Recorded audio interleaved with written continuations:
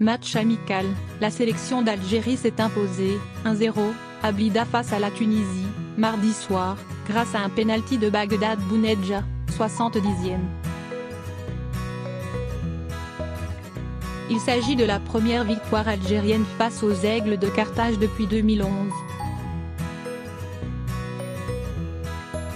L'Algérie a parfaitement entamé sa préparation à la 2019 dollars canadiens. Lors d'un énième derby entre les deux sélections, les coéquipiers de Riyad Mahrez se sont imposés sur la plus petite des marges, 1-0, face à la Tunisie, grâce à un but sur pénalty de Bagdad Bounedja, 70e.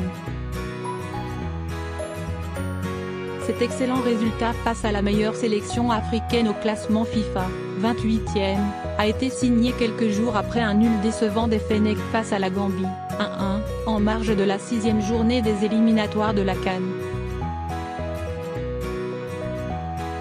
A noter qu'il s'agit de la première victoire de l'Algérie face à la Tunisie depuis 2011. Pour les hommes d'Alain Giresse, cette défaite a eu l'effet d'un coup d'arrêt, surtout après leur brillante victoire, 4-0, face au Swaziland vendredi dernier.